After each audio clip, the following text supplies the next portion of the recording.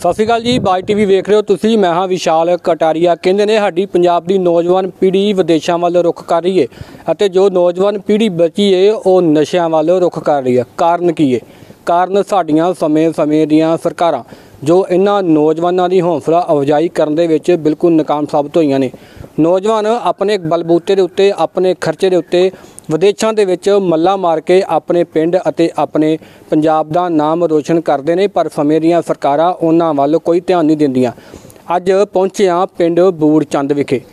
ਪਿੰਡ ਬੂੜਚੰਦ। ਗਾਇਕ ਅਮਰਿੰਦਰ ਸਿੰਘ ਗਿੱਲ ਦਾ ਪਿੰਡ।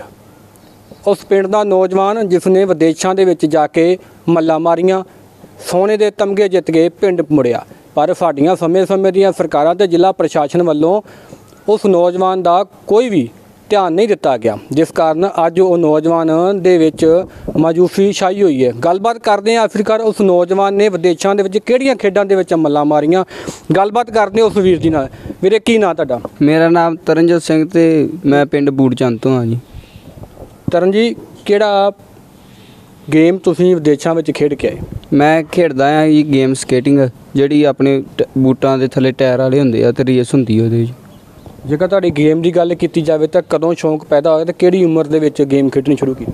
ਇਹ ਮੈਂ ਅੱਜ ਤੋਂ ਲਗਭਗ 6 ਸਾਲ ਪਹਿਲਾਂ ਹੀ ਗੇਮ 'ਚ ਮੈਨੂੰ ਸ਼ੌਂਕ ਆਇਆ ਸੀ ਕਿਉਂਕਿ ਉਦੋਂ ਸਰ ਆਉਂਦੇ ਸੀ ਸਾਡੇ ਅੰਮ੍ਰਿਤਸਰ ਤੋਂ ਸਰਬਜੀਤ ਸਿੰਘ ਕੋਚ ਸਕੂਲੇ। ਉਹਨਾਂ ਨੇ ਖੇਡ ਬਾਰੇ ਦੱਸਿਆ ਸੀ ਤੇ ਫਿਰ ਉਦੋਂ ਤੋਂ ਚਾਲੂ ਕਰਤੀ ਸੀ। ਸਭ ਤੋਂ ਪਹਿਲਾਂ ਕਿੱਥੇ ਖੇਡ ਕੇ ਆਏ? ਮੈਂ ਸਾਰਿਆਂ ਨੂੰ ਪਹਿਲਾਂ ਆਪਣਾ ਇੱਥੇ ਸਟੇਟ ਹੀ ਜੋਨਲ ਅੰਮ੍ਰਿਤਸਰ ਹੀ ਖੇਡਿਆ। ਉਸ ਤੋਂ ਬਾਅਦ ਦੋ ਵਾਰੀ ਅੰਮ੍ਰਿਤਸਰ ਖੇਡ ਕੇ ਬਾਅਦ 'ਚ ਕਰਨਾਟਕਾ। ਵਰਲਡ ਰਿਕਾਰਡ ਦਾ ਅਟੈਂਪਟ ਸੀ ਉੱਥੇ 48 ਘੰਟੇ ਲਗਾਤਾਰ। ਉਸ ਤੋਂ ਬਾਅਦ ਫਿਰ ਸਿਲੈਕਸ਼ਨ ਹੋਈਆਂ ਸੀ ਅੰਮ੍ਰਿਤਸਰ ਤੇ ਦਿੱਲੀ। ਫਿਰ ਉਸ ਤੋਂ ਬਾਅਦ ਉਹ ਸਿਲੈਕਸ਼ਨਾਂ ਤੋਂ ਬਾਅਦ ਥਾਈਲੈਂਡ ਖੇਡਿਆ ਹਾਂ ਤੇ ਉੱਥੇ ਇੱਕ 골ਡ ਤੇ ਦੋ ਬ੍ਰੌਂਜ਼ ਮੈਡਲ ਸੀ। ਇਹ ਤੁਸੀਂ ਜਿਹੜਾ 골ਡ ਮੈਡਲ ਤੇ ਬ੍ਰਾਊਨ ਮੈਡਲ ਗੱਲ ਕੀਤੀ ਇਹ ਥਾਈਲੈਂਡ ਜਿੱਤ ਕੇ। ਆਏ ਹਾਂਜੀ। ਉਸ ਤੋਂ ਪਹਿਲਾਂ ਕਰਨਾਟਕਾ 'ਚ ਖੇਡੇ ਤੁਸੀਂ? ਹਾਂਜੀ। ਉੱਥੇ ਕਿਹੜਾ ਕਿਹੜਾ ਮੈਡਲ ਜਿੱਤ ਕੇ ਆਏ? ਕਰਨਾਟਕਾ 'ਚ ਵਰਲਡ ਰਿਕਾਰਡ ਦਾ ਅਟੈਂਪਟ ਸੀ ਤੇ ਉੱਥੇ ਇੱਕ ਮੈਡਲ ਮਿਲਿਆ ਹੈ। ਹਾਂਜੀ। ਜਦੋਂ ਤੁਸੀਂ ਥਾਈਲੈਂਡ ਤੋਂ 골ਡ ਮੈਡਲ ਜਿੱਤ ਕੇ ਭਾਰਤ ਆਏ ਇੰਡੀਆ ਵਾਪਸ ਪਹੁੰਚੇ ਪੰਜਾਬ ਪਹੁੰਚੇ ਆਪਣੇ ਪਿੰਡ ਪਹੁੰਚੇ ਤਾਂ ਕਿਸੇ ਵਿਧਾਇਕ ਨੇ ਮੰਤਰੀ ਨੇ ਸੰਤਰੀ ਨੇ ਪ੍ਰਸ਼ਾਸਨ ਨੇ ਸਰਕਾਰ ਦਾ ਕੋਈ ਨੁਮਾਇੰਦਾ ਨਹੀਂ ਆਇਆ? ਨਹੀਂ ਹੋਰ ਤੇ ਕੋਈ ਵੀ ਨਹੀਂ ਸੀ ਬਸ ਆਪਣੇ ਪਿੰਡ ਇੱਥੇ ਜੀਓ ਜੀ ਦਾ ਏ। ਉਹਨਾਂ ਹੀ ਬਸ ਆਪਣਾ ਕੀਤਾ ਸੀ। ਜਿਹੜੇ ਸਰਕਾਰ ਵੱਲੋਂ ਹੁਣ ਤੱਕ ਕਿਹੜੀ ਮਦਦ ਕੀਤੀ ਗਈ ਤੁਹਾਡੀ? ਸਰਕਾਰ ਵੱਲੋਂ ਅਜੇ ਤੱਕ ਕੋਈ ਵੀ ਮਦਦ ਨਹੀਂ ਕੀਤੀ ਗਈ ਸਾਡੀ। ਸਾਰਾ ਖਰਚਾ ਵੀ ਆਪ ਸਾਡਾ ਆਪਦਾ ਹੀ ਆ ਤੇ ਉਹਨਾਂ ਨੇ ਵੀ ਕੋਈ ਸਮਾਨਤ ਵੀ ਨਹੀਂ ਕੀਤਾ ਕੋਈ ਤੇ ਕੋਈ ਮਦਦ ਵੀ ਨਹੀਂ ਕੀਤੀ ਸਾਡੀ। ਹੁਣ ਵੀ ਕਰਦੇ ਹੋ? ਹਾਂਜੀ ਹੁਣ ਵੀ ਕਰੀਦੀ ਆ ਸਕੇਟਿੰਗ ਗੇਮ ਟੀਚਾ ਕੀ ਹੈ ਟੀਚਾ ਕੀ ਗਾਂ ਹੋਰ ਵੀ ਇਹ 'ਚ ਅੱਗੇ ਵਧਣਾ ਚਾਹੁੰਦਾ ਹੈ ਤੇ ਕੀ ਖਿਡਾਰੀਆਂ ਨੂੰ ਹੋਰ ਵੀ ਆਪਣੇ ਮਦਦ ਮਿਲੇ ਸਰਕਾਰ ਵੱਲੋਂ? ਜੇਕਰ ਬੂਟਾਂ ਦੀ ਗੱਲ ਕੀਤੀ ਜਾਵੇ ਤਾਂ ਇਸ ਦੇ ਬੂਟ ਬਹੁਤ ਮਹਿੰਗੇ ਆਉਂਦੇ ਆ। ਉਸ ਬੂਟ ਕਿੰਨੇ ਕੁ ਤੱਕ ਤੁਹਾਡੇ ਆਏ ਉਹ ਬੂਟ ਪਹਿਲਾਂ ਤੇ ਆਏ ਸੀ ਜੀ 700 800 ਦੇ ਜਿਹੜੇ ਸਟਾਰਟਿੰਗ ਜਿੱਤੇ ਜਾ ਸਿੱਖੀ ਸੀ ਮੈਂ।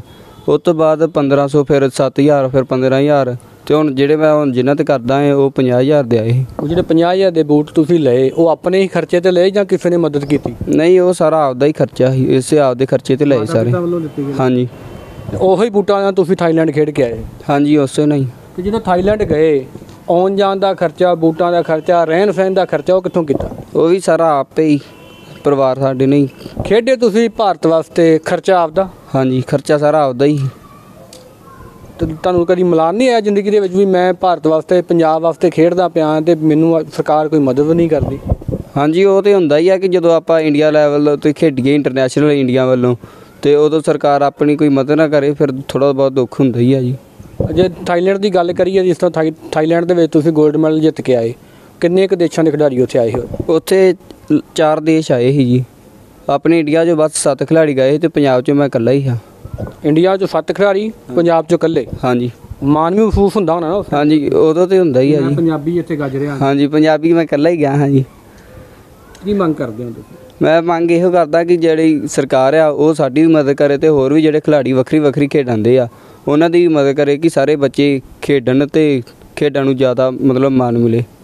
ਜੇਕਰ ਗੱਲ ਕ੍ਰਿਕਟ ਦੀ ਕੀਤੀ ਜਾਵੇ ਤਾਂ ਜਦੋਂ ਭਾਰਤ ਦੀ ਟੀਮ ਜਿੱਤ ਕੇ ਵਾਪਸ ਆਉਂਦੀ ਏ, ਤਾਂ ਸਮੇਂ-ਸਮੇਂ ਦੀਆਂ ਸਰਕਾਰਾਂ, ਚਾਹੇ ਕੇਂਦਰ ਸਰਕਾਰ ਹੋਵੇ ਜਾਂ ਕੋਈ ਪੰਜਾਬ ਦਾ ਖਿਡਾਰੀ ਹੋਵੇ, ਤਾਂ ਉਹਨਾਂ ਦਾ ਮਾਨ ਸਨਮਾਨ ਕਰਦੇ ਉਹਨੂੰ ਸਨਮਾਨਿਤ ਕੀਤਾ ਜਾਂਦਾ ਹੈ। ਪ੍ਰਸ਼ਾਸਨ ਦੇ ਅਧਿਕਾਰੀ ਪਹੁੰਚਦੇ ਨੇ, ਕੈਬਨਿਟ ਦੇ ਅਧਿਕਾਰੀ ਅਧਿਕਾਰੀ ਵੀ ਉੱਥੇ ਪਹੁੰਚ ਕੇ ਉਹਨਾਂ ਨੂੰ ਸਨਮਾਨਿਤ ਕਰਦੇ ਨੇ।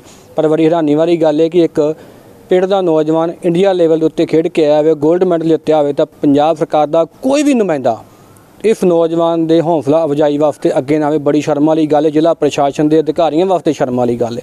ਅਸੀਂ ਆਪਣੇ ਚੈਨਲ ਦੇ ਰਾਹੀਂ ਵੀ ਪੰਜਾਬ ਸਰਕਾਰ ਵੱਲੋਂ ਅਤੇ ਕੇ- ਜ਼ਿਲ੍ਹਾ ਪ੍ਰਸ਼ਾਸਨ ਨੂੰ ਵੀ ਮੰਗ ਕਰਦੇ ਹਾਂ ਵੀ ਇਸ ਖਿਡਾਰੀ ਦੀ ਸਾਰ ਲਈ ਜਾਵੇ ਤੇ ਇਸ ਦਾ ਬੰਦਾ ਮਾਨ ਸਨਮਾਨ ਇਸ ਨੂੰ ਦਿੱਤਾ ਜਾਵੇ। ਕੈਮਰਾਮੈਨ ਦੇ ਨਾਲ ਵਿਸ਼ਾਖ ਕਟਾਰੀਆ, ਬਾਈ ਟੀਵੀ, ਤਰਨਤਾਰਨ।